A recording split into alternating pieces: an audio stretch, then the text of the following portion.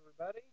Tonight we're going to be talking about DRIs, or dog run indexes, or as most people call them, a run index. They are all the same number, a little different name depending on where you go and what people call them, but it's all the same. Uh, a few people wanted to know how we calculate them, how the numbers are calculated, formulated, where they come from. So we're here to explain that. And we're just going to jump right in. I do apologize. My voice is a little bit off from usual. Uh, I've had kind of a throat issue the past week, and it's catching up to me. So I might not sound perfect, but we'll try and get through this one. That way we can get those questions answered. So we're going to explain a couple things first. A dog run index. What that is, it is an average number of the fastest dogs in the country. So it is the top 5%. Um, it is a different number for each height group and each class. It is only done in elite. You do not get a DRI for novice, open, or intro. It is only done for elite. And the numbers do change for each height group and each class. They're a little bit different for each one. Another good thing to remember is that your height group is based off your dog's shoulder height.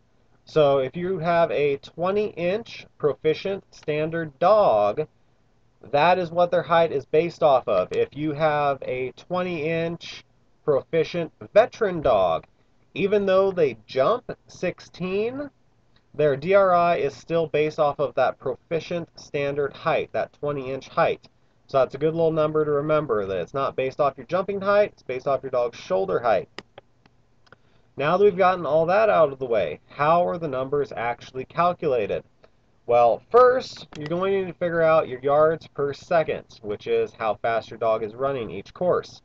For the purpose of this, we're going to say it's an elite jumpers course, and it's just a standard elite jumpers, which is about 133 yards. So you're going to take 133 and you will divide that by your dog's running time. For the purpose of this, we're going to say it is 19.5 seconds. We'll bring up a calculator here. That way everybody can see what that equals out to. We'll say you didn't peek at that. So 133 divided by 19.5. Eh, wrong number. 133 divided by 19.5. There we go. And that is your yards per second. You can ignore all those extra decimal places. So 6.82 yards per second. Let's make all this a little bit bigger. That way you guys can see it a little better. Hopefully that helps. So 133 yards divided by your dog's running time equals 6.82 yards per second. Now, to get your DRI, you are going to need a number that is not actually publicly available. Uh, we used to, a very, very, very long time ago, post these numbers, but then we ran into a lot of issues because people would say, well, these are the numbers, and they would go to a trial, and then they would see that their points had a different DRI than what they had calculated, which caused just a truckload of headaches for us and everyone involved mostly because they were using outdated numbers. They would see an old list, they would print it off, keep it in their trial bag, and then they would see their DRI on their points, and it didn't match what they had gotten because they were using an outdated number.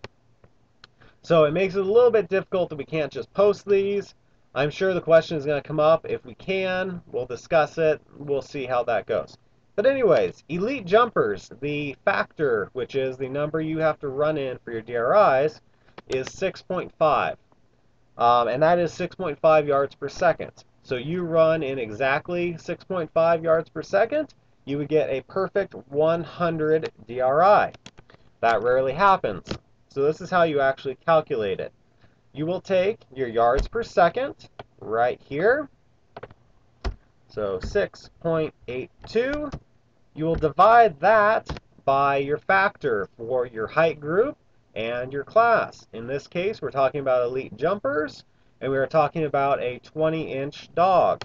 So the factor for elite jumpers, 20-inch dog, is 6.5. We'll bring up our handy-dandy calculator again. So you have 6.82 divided by 6.5. And there's your DRI. Kind of. Not really. So this really is your DRI. But it's not very impressive to say you got a 1.04. It just doesn't sound very good.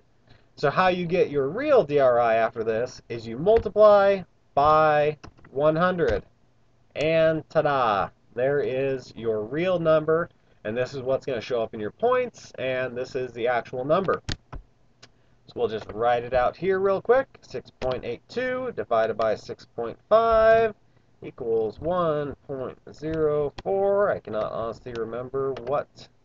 Yeah, we'll do it one more time. 6.82 divided by 6.5. Wrong button. Wrong button again. Gotta love technical issues. Da -da -da. Alright, we'll just click it. There we go. 1.0492.